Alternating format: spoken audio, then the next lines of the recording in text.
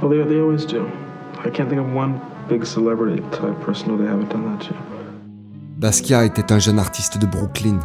Il avait pour ambition de devenir le premier grand artiste noir.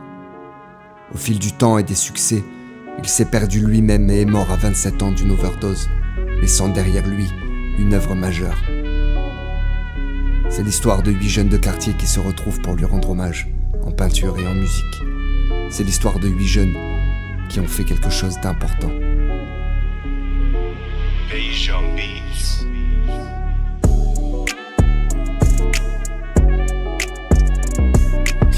C'est important parce que serai grand, peut-être je voulais faire de la peinture, de l'art et, et, de la musique, quelque chose comme ça. Je pense que l'artistique, ça montre ses émotions et euh, ça montre, euh, ça montre exprimer ce qu'on veut dire sans le dire euh, vraiment. C'était bien car on, on, a fait du collectif. Au début, je croyais pas qu'on allait faire un truc aussi bien. Je, c'est, je, on est fiers. Je pense qu'il a gâché sa vie en fumant de la drogue. Et euh, s'il n'avait pas fumé de la drogue, ben, il serait encore en vie en ce moment. J'aime le travail de Basquiat parce que, parce que je trouve qu'il exprime beaucoup ses sentiments à l'intérieur de son art.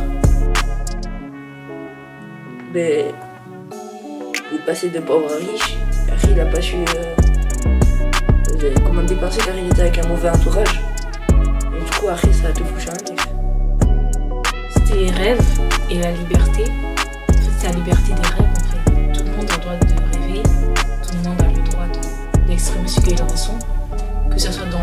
la musique.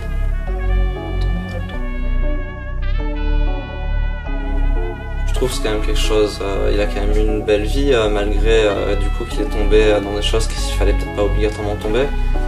Mais il a quand même eu pas mal de chance avec ses œuvres et ses rencontres aussi. Ben... Il est gâché. Parce qu'il est mort jeune, jeune. Genre faut être confiant. Ben il faut pas se laisser écraser quoi.